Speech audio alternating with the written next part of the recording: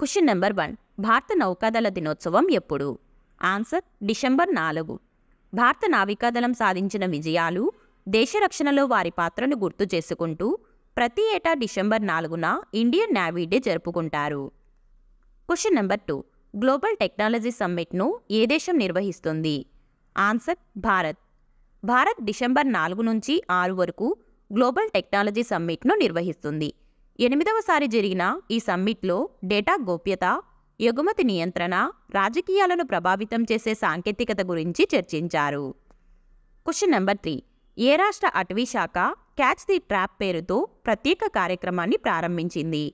Answer Telangana. వేటగాల నుంచి వన్యప్రాణులను సంరక్షించేందుకు తెలంగాణ అటవీ శాఖ క్యాచ్ ది ట్రాప్ పేరిట స్పెషల్ డ్రైవ్ చేపట్టింది. ఇందులో భాగంగా వేటాడేందుకు అమర్చిన వస్తువులను గుర్తించి వాటిని సీజ్ చేస్తారు. Question number four COP twenty eight summit ఎక్కడ జరిగింది? ఆన్సర్ దుబాయ్ యుఏఈలోని దుబాయ్ వేదికగా కాప్ ట్వంటీ ఎయిట్ సమ్మిట్ జరిగింది. నవంబర్ ముప్పై నుంచి డిసెంబర్ పన్నెండు వరకు జరిగిన ఈ సదస్సులో పాల్గొన్న భారత ప్రధాని మోదీ కాప్ థర్టీ త్రీ సమ్మిట్ను రెండు వేల ఇరవై ఎనిమిదిలో భారత్లో నిర్వహించాలని ప్రతిపాదించారు. క్వశ్చన్ నెంబర్ ఫైవ్ ప్రపంచ నేల దినోత్సవం ఎప్పుడు జరుపుకుంటారు?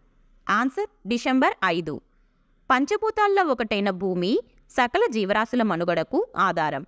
మానవ శ్రేయస్సు కోసం నేల ప్రాముఖ్యత ఆరోగ్యకరమైన పర్యావరణ వ్యవస్థ గురించి అవగాహన కల్పించడానికి ప్రతి ఏటా డిసెంబర్ ఐదున ప్రపంచ నేల దినోత్సవాన్ని జరుపుకుంటారు. Question number six. సాహిత్యంలో రెండు వేల ఇరవై మూడు నోబెల్ ప్రైజ్ను ఎవరు గెలుచుకున్నారు?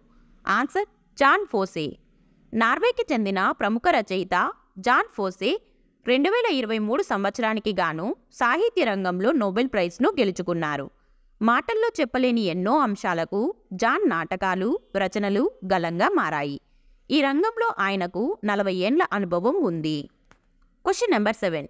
ఏ సంవత్సరం చరిత్రలోనే అత్యంత వేడి సంవత్సరంగా నిలుస్తుందని ప్రపంచ వాతావరణ సంస్థ నివేదించింది? ఆన్సర్ రెండు వేల ఇరవై మూడు. చరిత్రలోని అత్యంత వేడి సంవత్సరంగా రెండు వేల ఇరవై మూడు రికార్డుల్లో నిలుస్తుందని ఐక్యరాజ్య సమితికి చెందిన ప్రపంచ వాతావరణ సంస్థ నివేదించింది. ప్రస్తుతం రెండు వేల పదహారు ఈ రికార్డును కలిగి ఉంది. Question number eight. భారతదేశ ఎనభై నాలుగవ గ్రాండ్ మాస్టర్ ఎవరు?